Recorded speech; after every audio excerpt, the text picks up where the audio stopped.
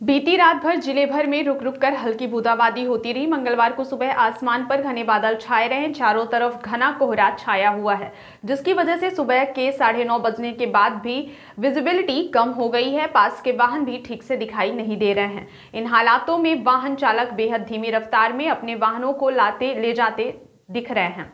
रात के समय हुई बूंदाबांदी की वजह से ज़िले में सर्दी का असर फिर से बढ़ गया है। सुबह से सर्दी, लोगों की परेशानियाँ बढ़ाए हुए है। लोग गर्म कपड़े पहनकर और अलाव जलाकर सर्दी से बचने के इंतज़ाम करने में जुटे हुए हैं।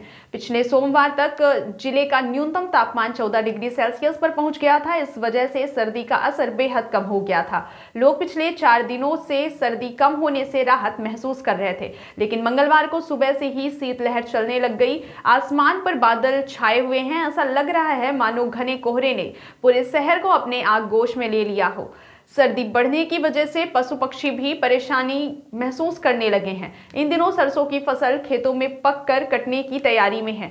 कई इलाकों में तो किसान सरसों की फ़सल को काटने भी लग गए हैं। इन हालातों में रात के समय हुई बूंदाबांदी और सुबह से आसमान पर छाए घने बादलों ने किसानों की चिंता बढ़ा रखी है। किसानों को डर है कि कहीं बारिश हुई तो उनकी फ़सलों को नुकसान न पहुँचे। अगर ओला गिरे तो सरसों ही नहीं बल्कि गेहूँ और चना सहित अन्य फ़सलों को भी नुकसान होगा। वीरपुर निवासी किसान केदार का कहना है कि बूंदाबांदी के बाद आसमान पर घने बादल छाए देखकर मन विचलित हो उठा है। अगर बारिश या ओला गिरे तो फ़सलें चौपट हो जाएँगी। भगवान से प्रार्थना कर रहे हैं।